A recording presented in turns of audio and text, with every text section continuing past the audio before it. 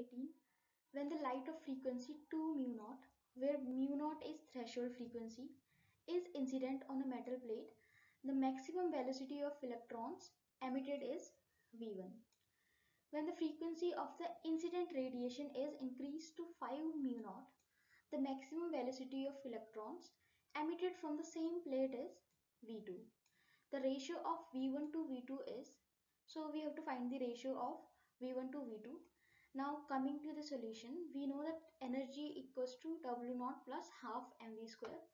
This W naught is the work function. So it, it will be equal to h into mu naught which is mu naught is the threshold frequency. So work function is h into threshold frequency.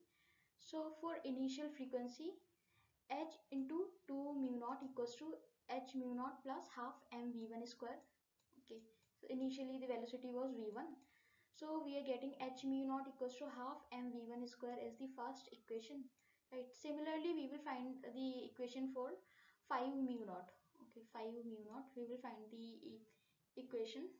So it will be h into 5 mu naught equals to h v naught h mu naught plus half m v uh, 2 raised to powers 2 right uh, so we are getting this as the second equation now we will divide equation 1 by 2 so upon dividing we are getting um, 1 by 4 equals to v1 square over v2 square and v1 by v2 is half. So option 1 is the right answer.